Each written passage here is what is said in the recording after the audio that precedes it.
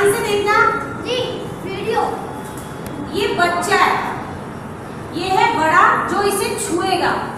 और ये है उसका भैया वो अपने भैया को बताएगा। ओके? भैया कुछ काम कर रहे हैं। ये इसको गिफ्ट देने के बहाने कि ये लो अक्ष और तुम ऐसे ऐसे इसको बातों में फंसाएगा बच्चे को और फिर इसे गिफ्ट देगा और इसे टच करने की कोशिश करेगा। ये छोटा बच्चा है और ये बड़ा। ये मतलब बड़े हैं। आदमी औरत जो भी आप कह सकते हो ठीक है आप देखोगे किस तरह से क्या होता है जो अभी हमने किया वो आप करोगे। चलो